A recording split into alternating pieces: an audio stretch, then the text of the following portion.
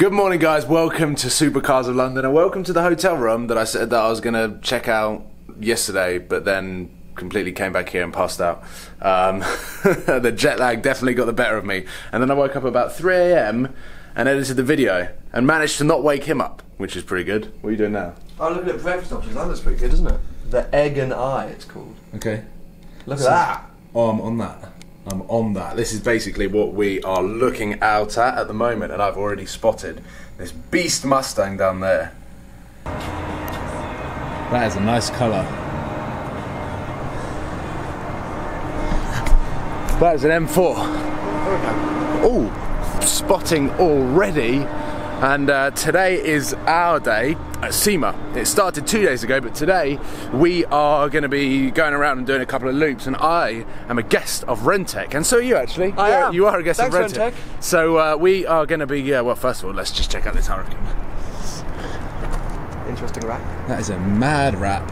Max Designs. I might take a picture of that. As I was saying, it's our day at SEMA today, so um, I'm going to be doing my best to document all of the cars that are exhibited there, all of the crazy stuff. And I'm pretty sure, Sam, you're challenging yourself to cap. It's all kicking off at 8 a.m. I have You're- no idea what to expect, but yeah, I- I'm going to aim to film every single car on display at SEMA. and when I say that to people, they all laugh in my face, so I get the feeling like it's not Well, going to be because possible. Exotic Driving Experiences yesterday said that it takes 30, it's a 30 mile walk to walk around the entire thing, and you're going to try and do it in a day. We're already late as well. Day two. Living in America. Oh god. This is where we are. We are a pixel there. This is how big it is. cool. Um, This is the wrong hall.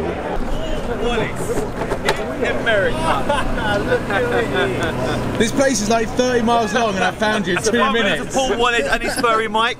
Yeah, baby. How you doing? You good? Paul, what's happening? How you doing? Yeah, good. Yes, hey, mate. It's been so long. How you doing? Yeah, good. How are you? Yeah, good. So I've just walked in that door over there and uh,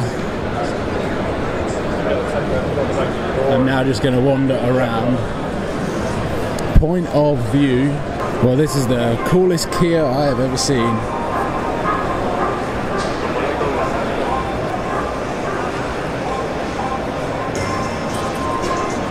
Mountune Focus RS, that's beast. And this car over here is insanely popular. And also went viral because it's got a Ferrari engine in a GT86 Toyota. And the exhaust pipes are there. I should probably take a picture of this on Instagram.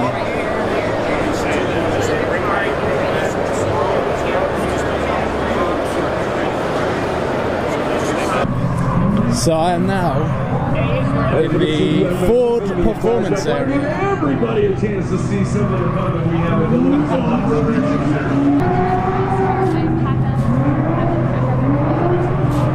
16 rounds for Lucas Oil Off-Road, racing in historic places like Glen Helen Raceway.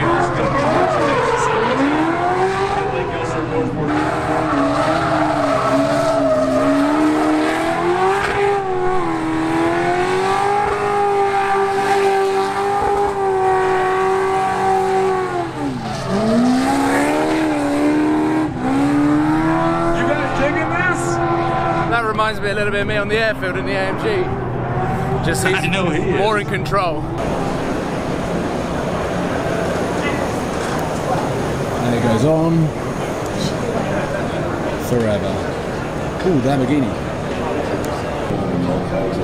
different cactus different birds different animals. It's just beautiful. This Stuff that you can see is sick.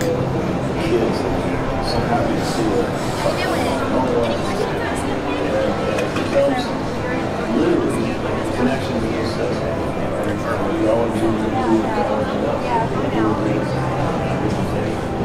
This is the hall that I want to be in. I'm seeing so many ridiculous cars here. I'm pretty sure this is the Liberty Walk 650.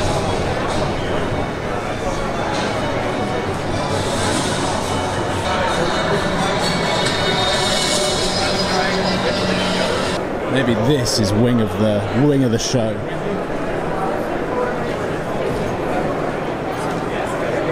Battleship Grey. Let's check this out in front.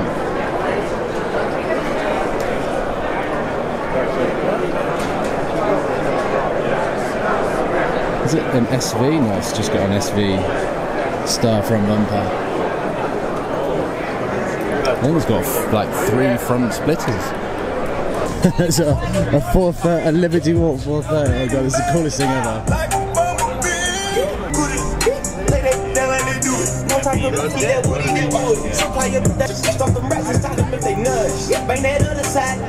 This outside section is totally mental. The sun's in, the sun's right behind it, but every single car out here is either a monster truck converted or it's got a wide body kit.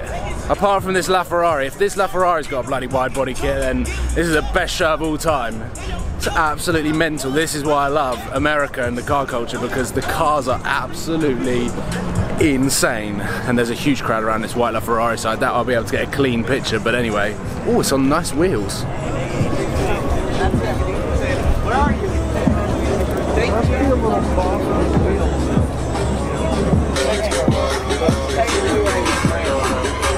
Well, I think I have successfully completed uh, the best bits of SEMA. All of the craziest cars I've done in about two hours, and I feel out of breath now.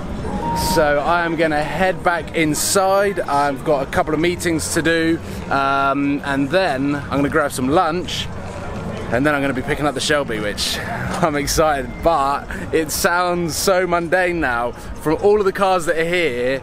Like everything's so crazy. It's the only way that I can describe it. Everything is so crazy. So like a Shelby GT350 now seems pretty mundane, even though yesterday it was totally ridiculous.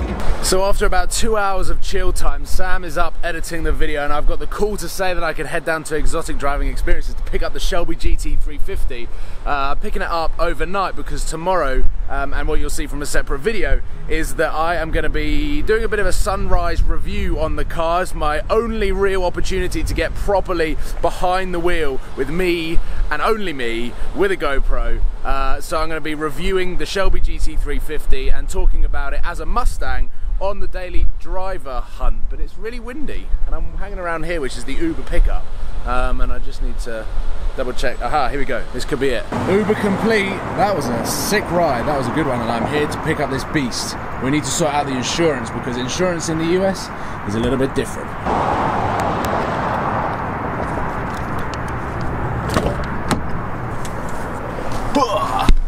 Well, I am officially the first person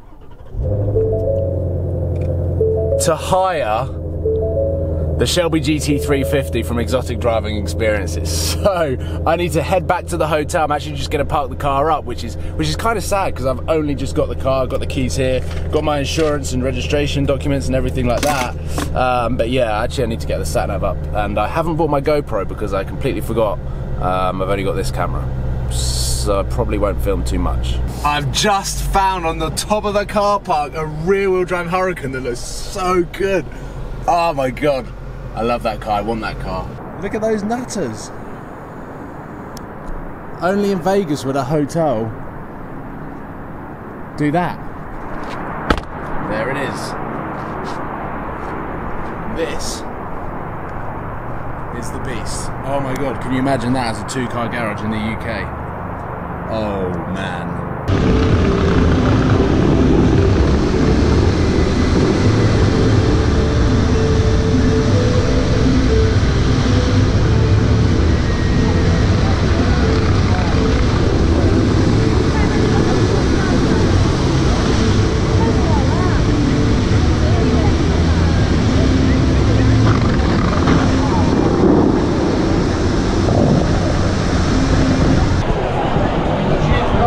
It's a bit smart on the surface surface. Yeah, yeah, yeah. A little bit of a step up.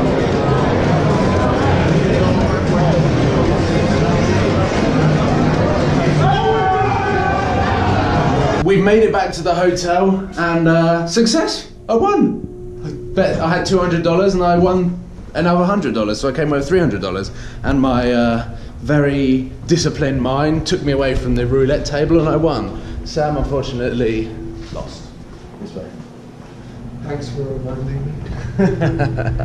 and now it is back to the room. It is half past 12. I'm going to edit for an hour and a half. And then at 3 a.m., which is 10 a.m. UK time, tickets for the weekend go live. So I'm going to be trying to buy those tickets. And then at 3 a.m., I'm going to try and get those tickets, go to sleep for about two and a half, three hours. And then we're up super early to film with the Shelby GT350. So, What's happening at the weekend? huh? What's happening at the weekend? 10 a.m. UK time, which is 3 a.m. this time. You're buying tickets for the weekend. What's happening at the weekend? Oh, this is us. Oh, good, good joke, good joke. Sam, you're so current with all the music and jazz. Hip hop. So, uh, yeah, that is the end of the vlog. Hopefully, you've enjoyed it, and um, it has been a pretty manic day. About a 24 hour day of me being awake. SEMA seems ages ago, um, and now I'm going to reside in my bed with my laptop and edit. So, thank you for watching. Please give it a thumbs up and subscribe if you haven't already. And I will see you tomorrow for a pretty special video with the Shelby GT, GT350. Cheers, guys.